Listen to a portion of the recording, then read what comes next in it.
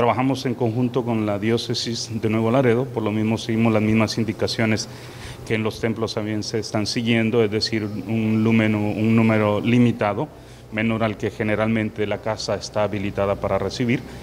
Eh, seguimos los protocolos de, protección, eh, seguimos manteniendo aún el área de cuarentena preventiva, es decir, todas las personas que desean o solicitan poder estar en nuestras instalaciones eh, forzosamente necesitan pasar este tiempo de aislamiento preventivo. Seguimos recibiendo a las personas que solicitan hasta los meses de febrero, de agosto a enero más o menos, la mayoría eran centroamericanos, hondureños, guatemaltecos, salvadoreños, pero a partir de inicios de febrero hasta el día de hoy, eh, el número ha incrementado para mexicanos. Hay un, un, crecimiento de mexicanos y no estamos hablando de deportados, estamos hablando de personas que están dejando sus estados en busca del asilo político.